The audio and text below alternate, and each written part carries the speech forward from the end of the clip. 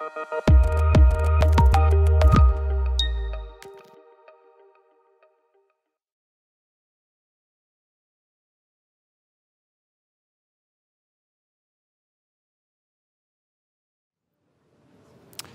I'm Mike Valentine. I'm Vice President of the American College of Cardiology.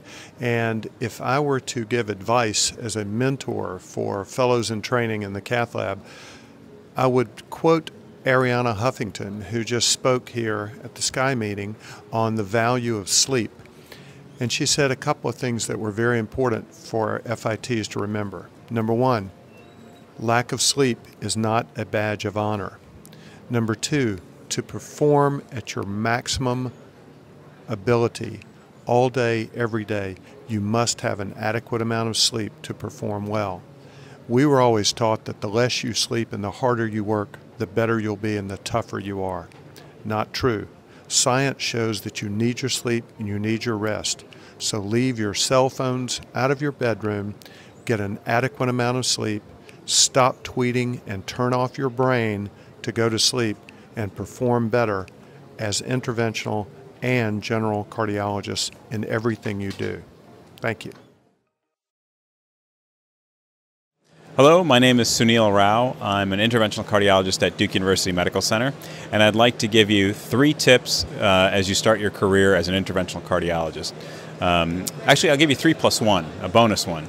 Uh, the first one is once you get out into practice, it's very easy to become overwhelmed. So make sure you put not only your patients first, but put your family first. Make sure you make time for your family. That's incredibly important. The second tip I'll give you is don't let your spending grow into your new income. That's very, very important. Make wise financial decisions. The third tip I'll give you is prepare for a lifetime of learning. I know that as a fellow, you feel pressure to try and learn every single procedure before you finish your fellowship, but the reality is you should be focusing on developing strong fundamentals because new procedures and new techniques will come along.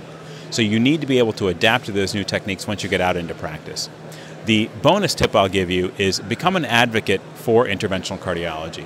Get involved in the professional societies, become a part of SCAI, become a part of ACC, get involved in the committees so that you can have an impact on the profession as it continues to evolve.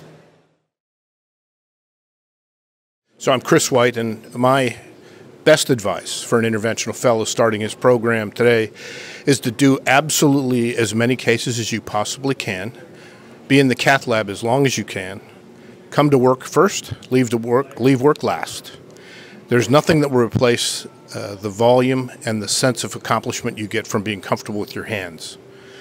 In your off hours, you will publish as many papers as you can it doesn't matter whether these are Nobel Prize winning or not, but put the papers in publication. Whether or not you ever plan to have an academic career or not, those papers will be your insurance in case you choose to have an academic career. Work with your mentors locally, work hard during the day, work hard during the night. You can sleep when the fellowship is over. Hi, my name is Perwaiz Meraj from Northwell Health, North Shore University Hospital in Long Island, New York. And uh, the question is really one thing that I wish I would have learned during fellowship that I would know now that would change my practice. I think it's hard to answer one thing, but I'll say this in 60 seconds or less is that I definitely feel like time management and knowing what I wanted to do would be the combination. So, understanding how to manage your time, how to devote your time both clinically, academically, research wise, and also save time for yourself. Uh, I think it's not imagined. It's not a, not important to say just your quality of life, but it's definitely a combination of all those that really are important. We're all going to try to want to be busy in clinical life in the beginning because we all want to get our hands dirty, especially as interventionalists. We always want to be in the cath lab, but the truth is you can't live in the cath lab because you need to be able to do other things. You need to have a family. You need to be able to devote your time academically, and you need to be able to find that time for yourself. Very important. Thanks.